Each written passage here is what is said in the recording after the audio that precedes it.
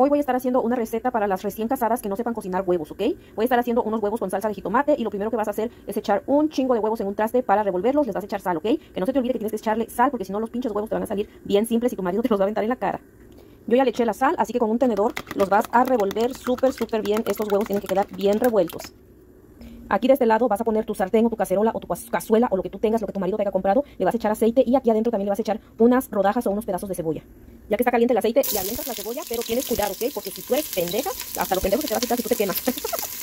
ya que la cebolla está así quemadita, ahora sí vas a echar los pinches huevos. Tú échalos, échalos y después que los eches, los vas a mover, ¿ok? Eso que se ve ahí quemadito es de la cebolla, no te preocupes que con la salsa que le vas a echar, ni siquiera tu marido lo va a notar. Así que vamos a moler la salsa. Aquí en la licuadora le vas a echar cuatro jitomates, ajo, cebolla y échale un chingo de chile para que pues tu marido le guste y pues esté bien picosito y tenga sabor la comida. Tienes que mover muy bien el huevito para que no se te queme, ¿ok? Esa es una de las recomendaciones, que el huevito nunca, nunca se te debe de quemar. Ya cuando tu huevito está doradito, mira, lo que vas a hacer es echarle la salsa, ¿ok? Le vas a echar esta salsa que a tu futuro marido o a tu esposo, si es que ya te casaste con él, vas a ver que le va a encantar porque va a estar picosita, sabrosona y se va a enamorar más de ti, ¿ok? Y también no se te olvide echarle sal a la salsa al gusto para que esté buena, porque si no, como te dije al principio, si estás sin sal, tu marido te la va a aventar en la cara, ¿ok?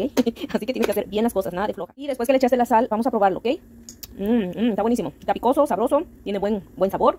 Ahora sí, solamente esperamos que hierva, lo apagas, cuando llegue tu marido le calientas las tortillas, le pones un poquito de frijol, un poquito de arroz y listo. Si tú haces esto bien, esta receta que yo te di, ya pasaste la prueba y de ahí todas las recetas te van a salir súper, súper buenas, ¿ok? Así que te deseo mucha suerte en tu matrimonio, deseo que a tu esposo le guste esta comida y si quieres más recetas, mándame o dame un comentario y doy más recetas para las recién casadas huevonas como tú.